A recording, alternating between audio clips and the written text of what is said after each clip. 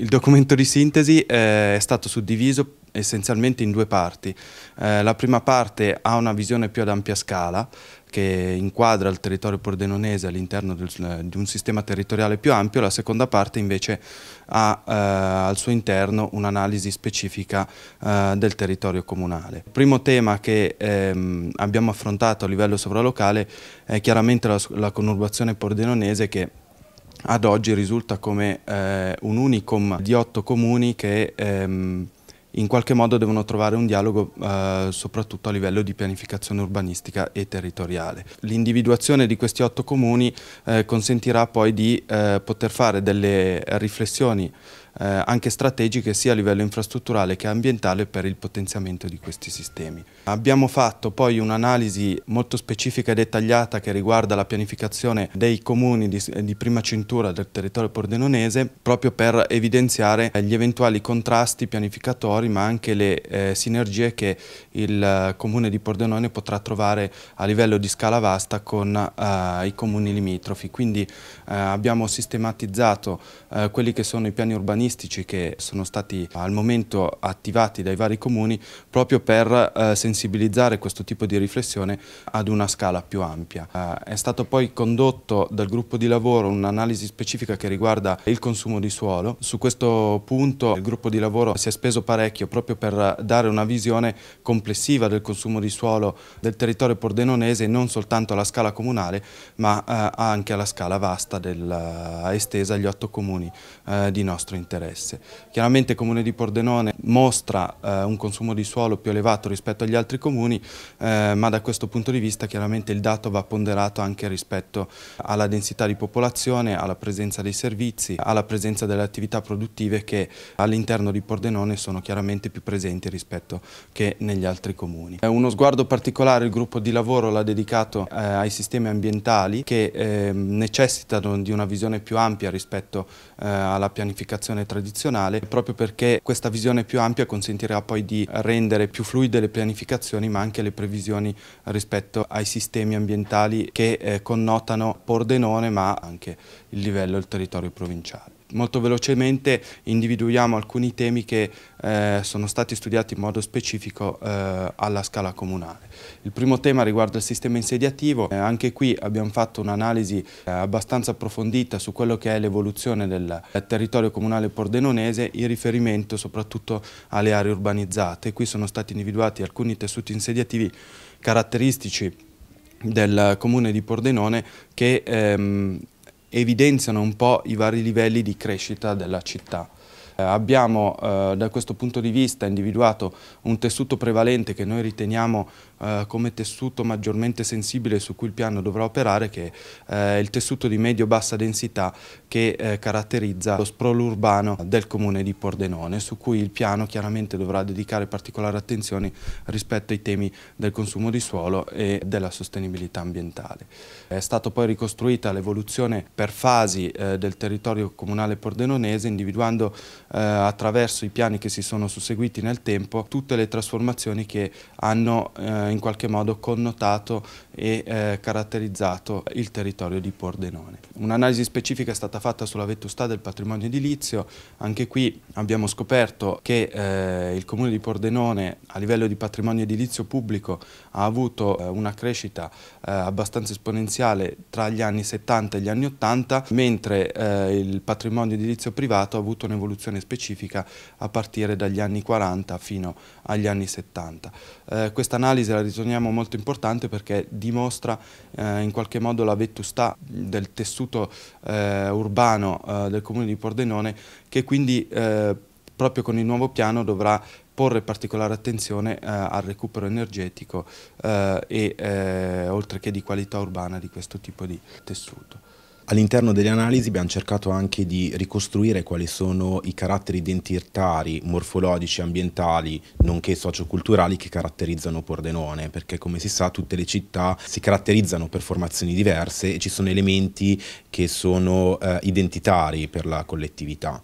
Uh, in particolare abbiamo individuato i nuclei originari da cui uh, è partita l'evoluzione della, della, città di Pordenone e quindi centro storico di Pordenone, eh, di Torre, Rorai e Borgo Meduna e all'interno di, di questo elaborato abbiamo individuato eh, in modo schematico i caratteri identitari che caratterizzano la città di Pordenone, in particolare la città storica, il sistema agricolo che è stato il sistema portante della città storica che poi è stato superato e, eh, ed è entrato in, in crisi con l'avvento del sistema produttivo. E quindi c'è stata un'evoluzione del sistema urbano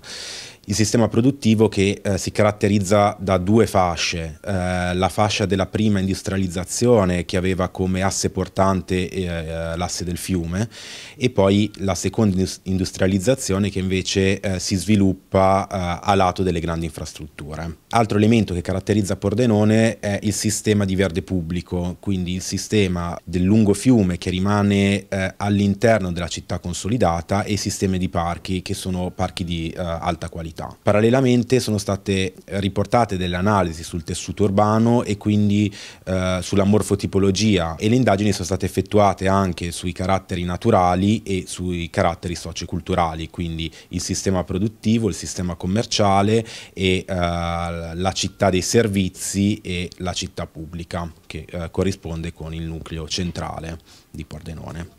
Sulla base di questo sono stati individuati gli elementi strutturali e invarianti che quindi sono alla base del progetto del PRGC, sono quegli elementi che sono importanti e che vanno sia tutelati che valorizzati. Quindi quello che noi individuiamo all'interno di questo elaborato non sono situazioni vincolistiche, ma eh, vogliamo porre l'attenzione su dei sistemi che sono eh, fondamentali per eh, Pordenone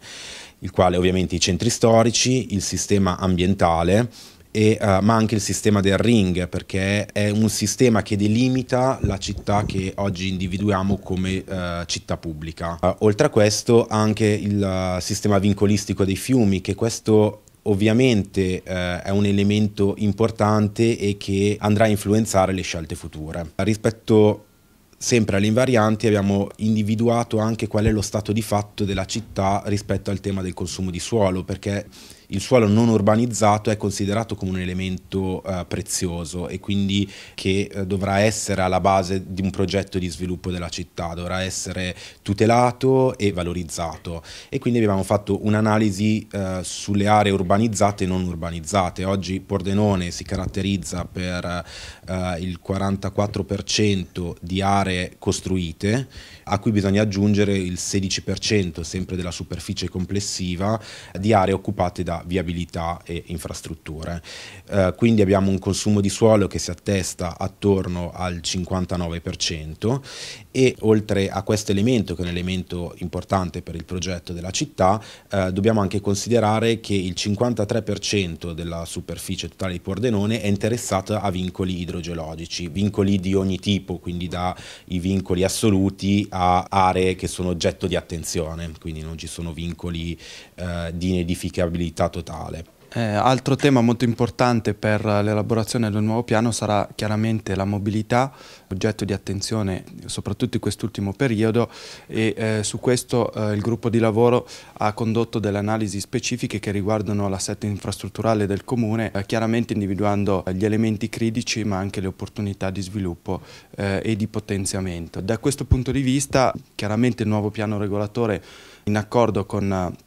il piano della mobilità che si sta, sta partendo in questo, uh, in questo, periodo dovrà trovare le sinergie e le potenzialità per un nuovo tipo di mobilità uh, all'interno del territorio comunale di Pordenone. Su questo l'analisi specifica che è stata fatta sulle uh, piste ciclabili attualmente presenti a Pordenone uh, ci dà un quadro complessivo di quello che è una mobilità alternativa che eh, Pordenone potrà eh, avere nel prossimo futuro. Da questo punto di vista eh, il Comune di Pordenone ha già attivato una serie di politiche che vanno in questa direzione, eh, chiaramente il potenziamento del bike sharing che è già presente a Pordenone è uno dei primi elementi che eh, sarà poi alla base di uno sviluppo sostenibile della città. E anche la sistematizzazione dei parcheggi pubblici in area centrale eh, diventa un carattere cruciale, nel senso che una diversa mobilità, una diversa accessibilità dell'area centrale consentirà consentirà in un certo modo anche eh, di poter ripensare quello che è il sistema infrastrutturale di Pordenone, a partire dal ring eh, per poi spingersi fino eh, al raggiungimento del centro storico con mezzi di mobilità alternativa. A conclusione delle analisi effettuate sul sistema di Pordenone abbiamo preso in considerazione eh, lo strumento vigente, quindi eh, il PRGC con la variante 77 e abbiamo analizzato lo stato d'attuazione, quindi eh, il raggiungimento degli obiettivi che si era preposto il piano. Abbiamo analizzato sia il sistema produttivo che eh, il sistema eh, insediativo, nonché quello dei servizi, per vedere lo stato d'attuazione, quali sono state le previsioni maggiormente attuate mentre quelle che eh, sono rimasti solo come eh, progetti sulla carta. Uh, sulla base di questo abbiamo analizzato anche l'indotto dei servizi e uh, attualmente la città di Pordenone ha una dotazione a standard pro capite pari a 45,2 metri quadri ad abitante, quindi uno standard molto alto. Il sistema dei servizi è ovviamente calibrato solo su quello che il vecchio PR, il, il PRGC attualmente in vigore riconosce come eh, servizi alla città, ma per avere un quadro complessivo e più realistico dobbiamo anche considerare il sistema degli spazi non costruiti che eh, a oggi eh, riescono a mh, eh, dotare la città di Pordenone di servizi integrativi che a volte sono diretti e, uh, mentre altre volte sono indiretti, cioè possono essere fruibili per la città o possono dare un servizio che uh, non, posso, non, può essere quantificato vec nel vecchio tipo di analisi del piano ma che in realtà eh, determina il benessere della città di Pordenone. Quindi sono stati effettuati degli studi sull'uso del suolo, del suolo agricolo, del suolo eh, a verde pubblico e eh, rispetto a una caratterizzazione che eh, riprende quella proposta dalla Regione Friuli Venezia Giulia, abbiamo considerato su eh, tre elementi, eh, tre componenti del sistema ambientale, quindi suolo, acqua e aria, quali sono gli indotti che le aree non edificate certificate eh, portano al benessere della città. Per quanto riguarda la componente suolo abbiamo valutato la biodiversità, la morfotipologia delle culture eh, e del, del, sistema verde della città di Pordenone, a cui abbiamo eh, dato un valore qualitativo che va da molto alto a molto basso. Da questa analisi emerge che il sistema dei parchi pubblici eh, all'interno del tessuto consolidato risulta essere l'elemento più di valore all'interno del territorio di Pordenone. Sempre all'interno della componente suolo abbiamo valutato anche eh,